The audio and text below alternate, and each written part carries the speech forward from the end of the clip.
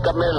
¿Qué pasó, mi gober, precioso? Mi héroe chingado. No, a ti, tú eres el héroe de esta película, papá.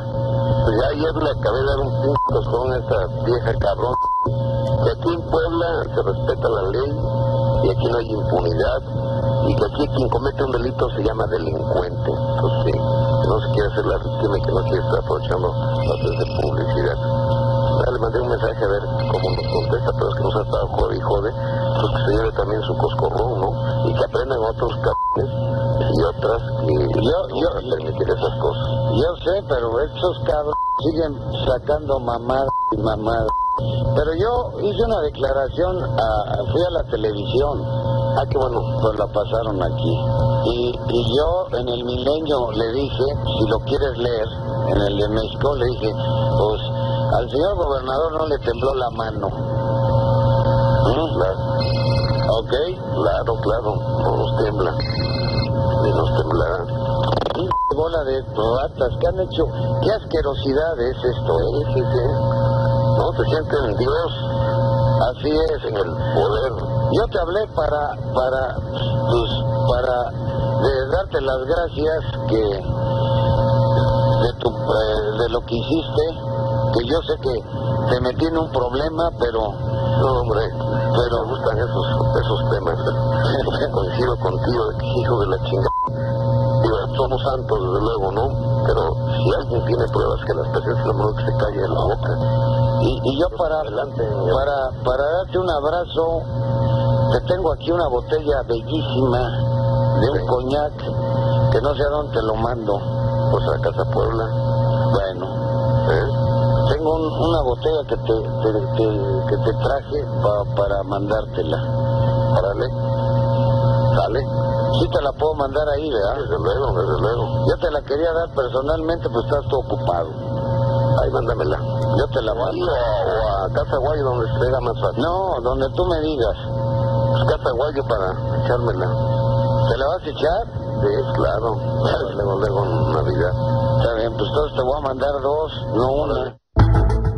Y hace unos momentos Lidia Cacho tuiteó, la Fiscalía General de la República me avisó en cuanto detuvieron al exgobernador Mario Marín escondido en Acapulco. Llevo 14 años buscando justicia por haber sido torturada por este cómplice de redes de pornografía infantil. Vamos por todos, así, así lo puso Lidia. Y Lidia Cacho exhibió a través de un libro, usted recordará, a esta red de pederastas. Estaba por concluir el año 2005 cuando 10 personas la detuvieron en Quintana Roo.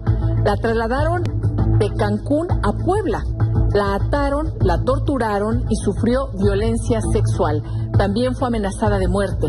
El caso llegó hasta la Suprema Corte de Justicia de la Nación, pero en ese entonces Lidia perdió.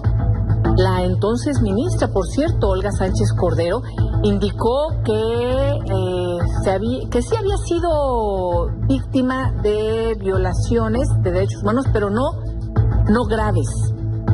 Y entonces, en el 2014, Lidia demandó al Estado mexicano por impunidad ya ante la Organización de Naciones Unidas y ahí ganó. Y el Estado mexicano, sí, tuvo que reaccionar. El 10 de enero de 2019, la propia Secretaría de Gobernación ofreció una disculpa pública a Lidia Cacho a nombre del Estado mexicano por esta violación a sus derechos humanos. Este es parte del discurso que ofreció la periodista en ese momento.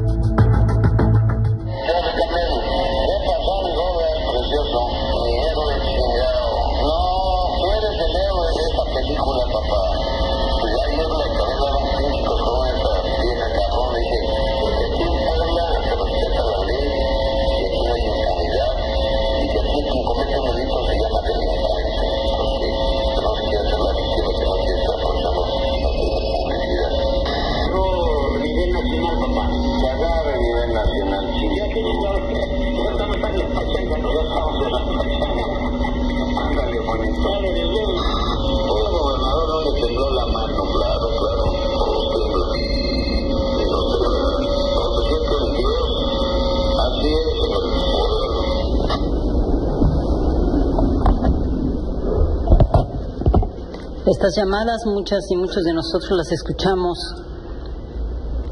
En el 14 de febrero de 2006, poco tiempo después de que saliera de prisión, y ratificaron exactamente todas las palabras que yo dije en ese momento. Explicaron uno a uno, paso a paso, todo lo que me hicieron desde mi detención hasta que llegué a prisión en Puebla. Esta grabación fue exhibida ante la Suprema Corte de Justicia, todas las grabaciones. En ella hablan el empresario Camel Nasib Borgi y el exgobernador de Puebla, Mario Marín. Estas grabaciones fueron expuestas ante todas las autoridades para demostrar cómo funcionaba una red criminal y, solicitar que se desaforara al entonces gobernador para que fuera juzgado por el delito de tortura y detención arbitraria. En aquel entonces mucha gente me tiró a loca. No ha sido eh, una batalla contra el líder de los pederastas. Él ya está en prisión y tiene 112 años. No va a salir con vida de esa prisión. ni contra los policías que me torturaron. Ha sido para mantenerme viva enfrentándome a los más altos mandos de diferentes gobiernos, de los gobiernos en turno en Quintana Roo, en Puebla, en el Estado mexicano, que han elegido de manera informada mantener el status quo que en la última década ha fortalecido la impunidad criminal de violencia contra niñas, niños y jóvenes y mujeres en particular y contra la sociedad en general. Cada gobierno en turno se convierte en garante de la legalidad. Eso significa que asume responsabilidad, una responsabilidad histórica, como acaba de decir Alejandro, frente a la sociedad y que representa instituciones creadas para protegernos y acompañarnos, para cumplir nuestras responsabilidades como ciudadanas y ciudadanos y asumir nuestros derechos también. Este gobierno tienen la responsabilidad de utilizar los próximos seis años para crear verdadero Estado de Derecho. Eso no solo será posible si sus líderes en cada área del Estado asumen que deben admitir la verdad y no crear realidades alternativas y complacientes.